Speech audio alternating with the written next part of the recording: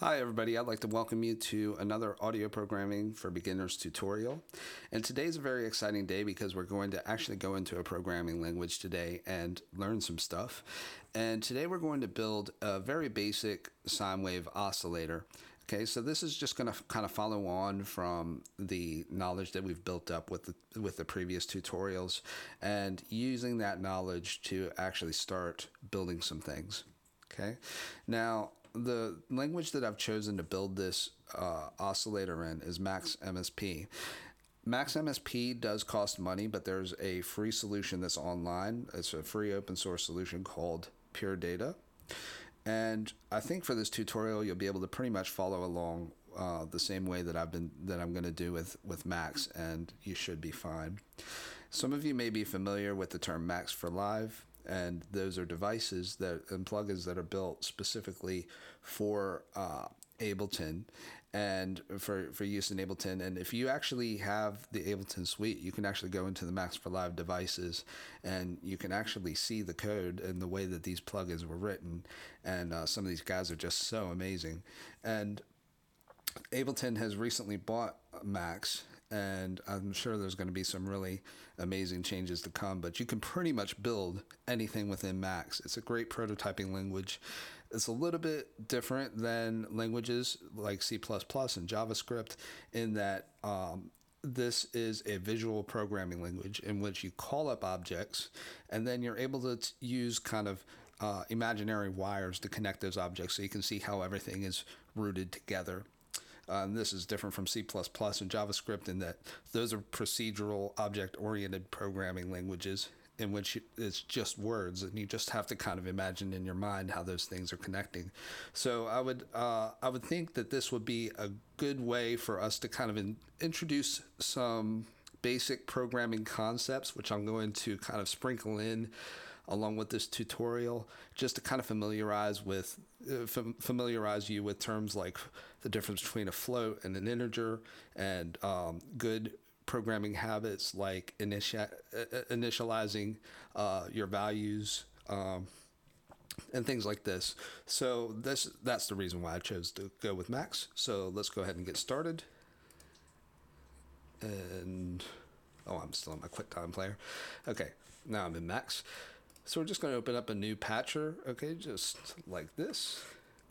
And maybe I'll come back at a point and we can um, go a little bit more into Max and about some of the um, some of the kind of basics of it. But I'm just going to leave this to more to kind of showing you the oscillator and just the kind of concepts behind building the oscillator. You can take these these kind of concepts and the basic way that this is built and you can port this to any programming language, and the things that you need to get going are pretty much the same. Okay? So the first thing we're going to start off with, I, I press N to create a new object. Okay? And I'm going to create what's called a cycle object. Now, a cycle object is just what it says right here as a sinusoidal oscillator. Okay, so last uh, last lesson we talked about the sine wave and how it can basically oscillate at different values at a different at different frequencies. So this is just an object that generates the that generates a sine wave for us. And what we can do is we can just give it an initial value. Now it's good when you're creating these objects to give it an initial value, or else uh, this you know your your different kind of programming elements will be out there, and you you won't have any idea you know what value that might be generating okay? So it's good to just kind of give it an initial value to start off with and then you can go back and you can change it later okay? And we're going to give it an initial value of 440 hertz okay? So that means uh, if you know we're we're in a uh, we're in a digital domain okay? And so every 44,100 if our sampling rate is 44,100 um, times a second, then your uh, sine sine oscillator is going 440 times in that one second. Okay. So I've just created that object. Okay. Now what I can do is I can create uh, a number here. Like if I wanted to change this number, okay, I can create a, uh, a, va- a, a number box here. So if I just create, if I just press F, that just creates the um, the number here. So if I wanted to change that number, now what I can do is I can take this uh, this node here, and if I press and I hold the mouse, and that I can connect it to my oscillator. Okay, so now if I if I go and I change this, that would change what what this uh, it wouldn't it wouldn't actually show the change, but um, it would actually change the frequency that's happening there. Okay, so we have a sine so we have a sine oscillator. Now, if we just picture from our last tutorials, and in the digital domain, what this would be doing is it, it would be producing values 44,100 times a second between minus one and one, as we've discussed before. Um, I wish I could print out those values uh, onto the console here just for you to see, but um, I couldn't find a way to actually print out what the values were that were coming out of um, this sine wave. So I hope you can just take my word for it. Um, so now, uh, if we go and we could just make a volume, we could just make a volume uh, uh, slider for this. Uh, so if I just hit N to create a new object, and then the object I want is called gain, and this is just a volume, a volume slider. Okay. Now, if I press N again to create another new object, okay, and this one I'm going to call Easy DAC. Now, DAC is digital audio to audio converter. Okay, we talked about that in our past tutorials, uh, so you should know what that is now.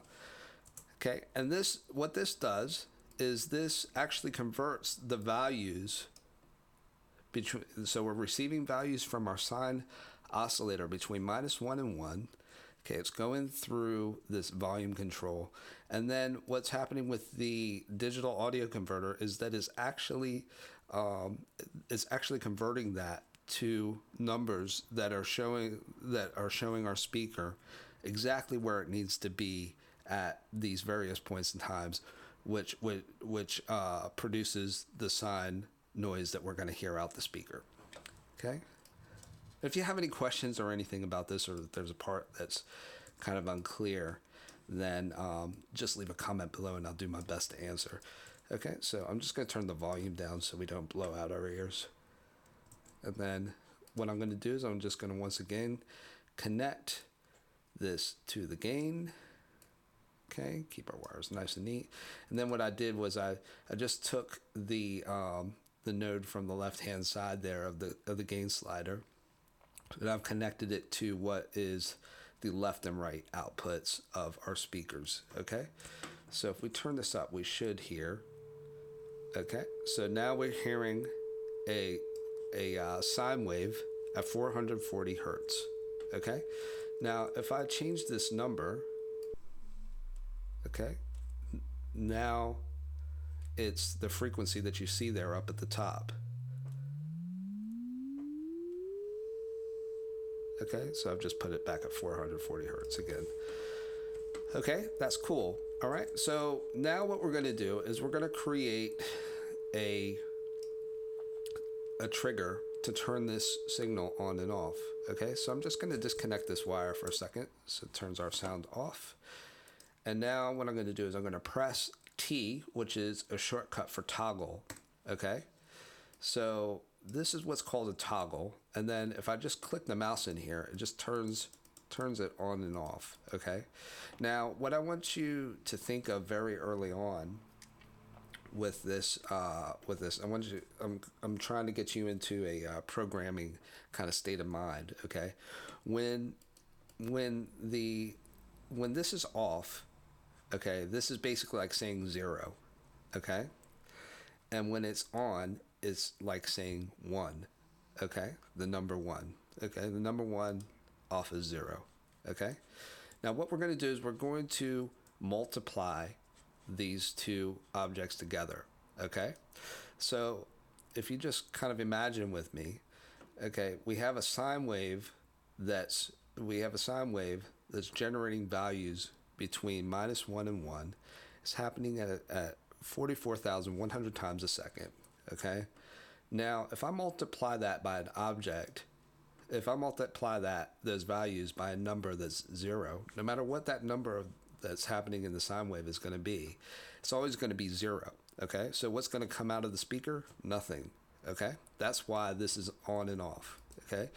Whereas if I'm multiplying all these values by the number one, then what's happening is that's what's going to let our our uh, our sine wave values go through, which are going to give the instructions to our speaker to move back and forth, creating the sine wave. Okay, so I'm just going to press N again to create another object. And now I'm going to use what's called a multiply object because I'm going to multiply these values together. Okay, so I'm doing times. Okay, now this is a signal that I'm multiplying. Okay, and that's we know is a signal by this little tilde um, here. Okay, which means that it's numbers that are moving at an audio rate. Okay, so if I just do this multiply two signals, okay, and then all I'm going to do is I'm going to put this cycle into the the cycle object into the left hand side. Okay, and then I'm going to put this toggle into the right hand side. So I'm multiplying these two numbers. Okay, these are, if I just comment here, values. So if I just say generates values, I'll be big here, between minus 1 and 1. Okay. 44,100 times a second.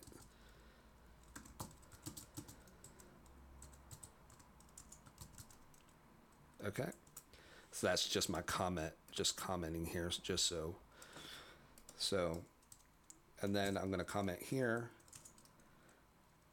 a value of 0 or 1 off on. Okay. Uh, there we go. I'm just going to put that here. So now we've got our multiply we've got our we've got our multiplication happening. So what we're going to do now is we're going to take that, we're just going to patch that into our our gain, okay, which is like our volume, our volume knob. Okay. Now, if I hit this toggle, should turn on. Okay, so there there we go. So that's how we turn that signal on and off. Okay, so that's cool. Okay, now let's just let's just give a uh, let's just pull up like a quick uh, scope, oscilloscope, just to show us roughly what our what our signal uh, looks like. Okay, so if I just hit N again, and then I'm gonna call up an object called scope. Okay, visualize an audio signal. Okay, what I'm gonna do is I'm just gonna pull that in from our multiplication object here. Okay, now let's see what happens. Okay, so now we have this, um, we have this sine wave that's is going between minus one and one. It, it looks like it's it looks like it's actually clipping. I don't think that it's actually clipping. It might be just the refresh rate, which is the reason why uh, we're seeing the values kind of kind of getting walled off there at the very top and the very bottom. Okay. Um, so if I just turn that back off, okay, now let's just pull up something so we can look roughly at the frequency that we're that we're working at. Okay, so if I I think it's spec, spec spectroscope. Okay. So if I go here and I connect and I connect that. Okay, if you hit Command A and then you hit Route Patch cords, it makes all of our pat all of our cords look really nice, which is cool. Okay, so let me hit it again. Okay, and so as I've said before, um, sine wave has one is the only wave that has one single fundamental frequency. Okay, so that's the reason why you just see one peak at what. Uh, unfortunately, I can't uh, show what the numbers are here. This is going between zero and uh, 22,000 hertz, but it'd be nice if I could see the actual numbers here.